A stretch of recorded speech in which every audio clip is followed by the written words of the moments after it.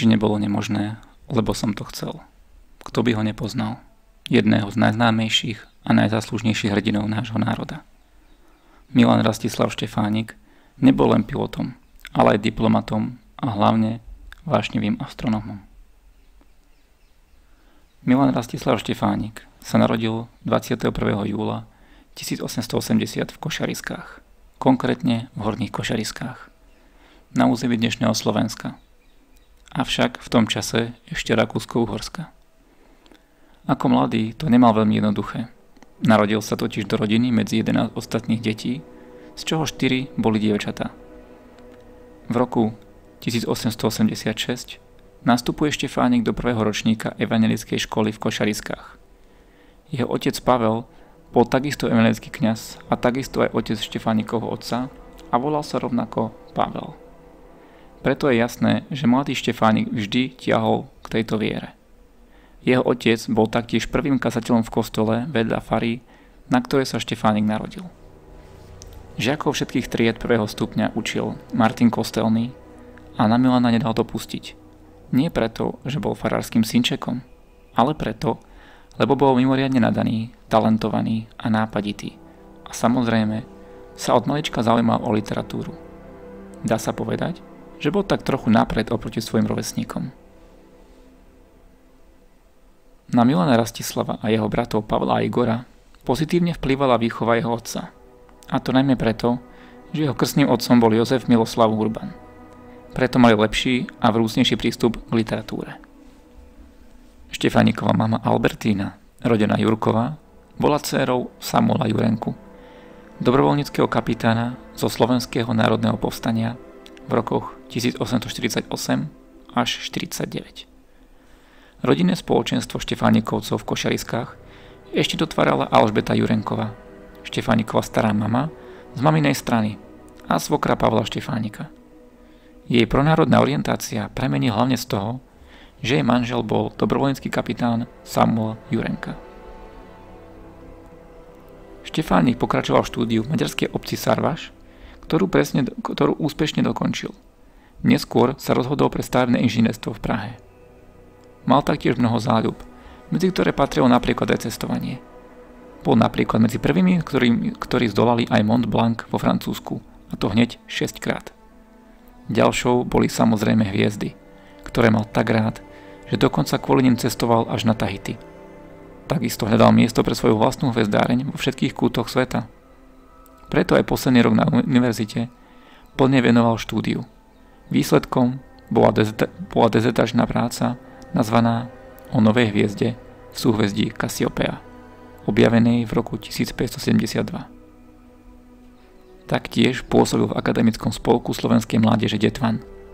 Po slávnostnej promócii 12. oktobra 1904 v starobilej auli Karolína zamieril do Paríža bez peňazí, a bez konexií. Preto boli jeho začiatky v Paríži ťažké. Avšak Vavro Šrobár, lekár, politik a ústredná postava medzivojnovej slovenskej politiky v Československu a od roku 1935 profesor a stúpenec Národnej jednoty Čechov a Slovákov, mu pomohol požičiať si v Ružomberskej banke. V roku 1905 prišiel do Paríža profesor Jansen. Podarilo sa mu dostať k nemu i na jeho hvezdáreň v Meudone. Tým sa mu splnil jeden z jeho snov. 20. júna 1905 podnikol zvezdárne výstup do observatória na vrchol Mont Blanc a 30. augusta pozoroval v španielskom Alcosebre úplne zatmenie slnka. Po odchode Jansena však musel Štefánik hvezdáreň opustiť, pretože nový riaditeľ ho vyhodil. Na konci roku 1906 dostal Štefánik poverenie od firmy Bureau des Longitudes Habits aby viedol francúzsku armádu do Turkistánu. Ich cieľom bolo pozorovať zatmenie slnka, ktoré malo prebiehať 13. januára 1907. Počas jeho cesty tam sa zastavili na Slovensku, Česku, ale aj Rusku, kde sa stretol napríklad aj s Vom Nikolajevičom Tolstojom. V júli roku 1907 sa však Štefánikov zdravotný stav veľmi zhoršil a bol prevezený na liečenie do Chamonix kúpeľného mesta pod Mont Blancom, kde sa liečil dva mesiace. Počas liečenia sa dozvedel, že profesor Jansen zomrel. Koncom roka sa opäť vrátil do Paríža, pokúsil sa zachrániť jeho milované observatórium, no bohužiaľ neúspešne a tak bolo zbúrané 21. septembra 1907. Ako som spomínal, Štefánik veľmi rád cestoval. Napríklad precestoval aj do Alži- aj Alžírsko, Atlas, Saharu, Tunisko a Kartágo. V Afrike sa snažil nájsť miesto pre svoju vlastnú hvezdáreň. Po všetkých svojich výpravách sa ale nakoniec vrátil do Košarisk, kde v roku 1913 umiera jeho otec Pavel. Po tejto tragédii sa Štefánik chcel usídliť do Tahiti. Avšak bol poverený francúzskou armádou, aby od ekvadorskej vlády získal povolenie na vybudovanie telegrafickej siete. Po tomto úspechu dostal ocenenie Kríž rytiera čestnej légie. Bohužiaľ, v roku 1914 sa zotavoval v sanatóriu u profesora Monprofita i Jingersa po operácii žalúdku. Po jeho uzdravení sa dozvedel o vypuknutí vojny 9. septembra a vrátil sa vojenským transportom do Francúzska. Na frontu nastúpil až 1915, pretože sa potreboval zotaviť po operácii. Štefánik sníval o tom, aby sa Slováci osamostatnili a tento čin taktiež spojoval hneď od začiatku s Čechmi, preto vo vojne videl túto možnosť. Po nastúpení na frontu nastúpil do vojenskej leteckej školy v Charté a 11. mája získal diplom pilota a hodnosť desiatnika. Ako letec sa taktiež pokúšal o vybudovanie Československej dobrovoľníckej jednotky. Pri evakuácii v Niši v Srbsku ho prepadla znova žalúdočná choroba. Štefánik bol celkovo choľavý, čo sa týka žalúdka a čriev. Taktiež zažíval kvôli svojej práci veľa stresu a preto dokonca aj niekoľkokrát denne omdlel. Vždy preto pri sebe nosil tabatierku plnú liekov. V tom čase za jeho záchranou stáli jeho priatelia, ktorí ho dopravili do nemocnice v Ríme, kde poznal pani Claire de Juvenel, ktorá mu pomáhala v boji za osamostatnenie Slovenska. Štefánik sa potom vrátil do Paríža, kde aj naďalej presadzoval plán vytvorenia Československého štátu. Dňa 13. decembra 1915 sa stretol s Eduardom Benešom a spoločne s jeho a Masarykovou koncepciou sa stotožnili o vytvorenie samostatného štátu. Štefánik sa preto snažil o vytvorenie riadiaceho centra pre spoločný odboj Čechov a Slovákov. Taktiež zariadil stretnutie medzi ministerským predsedom Aristidom Bryandom a Masarykom, kvôli vytvoreniu samostatného československého vojska. Medzi tým neustále podporoval vytvorenie ústredného reprezentatívneho orgánu zahraničného odboja. Vo februári roku 1916 vznikla Československá národná rada a aj predsedou sa stal Masaryk. Miesto predsedami boli Durich a Štefánik a generálnym tajomníkom Beneš. Sídlila na Rue Bonaparte 18 a hlavným tlačovým orgánom boli časopisy La Nation, Czech a Československá samostatnosť a tak začala rada organizovať Československé vojsko v zahraničí. V Taliansku neskôr Štefánik podnikol zaujímavú marketingovú stratégiu, keď rozhadzoval z lietadla letáky určené predovšetkým pre Čekov a Slovákov, avšak taktiež chcel takýmto spôsobom získať talianských spojencov. 25. augusta 1916 sa Štefánik v Mogľove v Rusku, kam išiel kvôli ako už inak ustanoveniu Československého vojska, Stretol so šéfom francúzskej misie, ktorý ho zaviedol za náčelníkom generálneho štábu a za cárom Mikulášom. O 4 dní neskôr podpísal Štefánik a Jozef Durich, to bol politik staročeskej a neskôr aj agrárnej strany, a s predstaviteľom amerických Slovákov Košíkom Kievskú dohodu.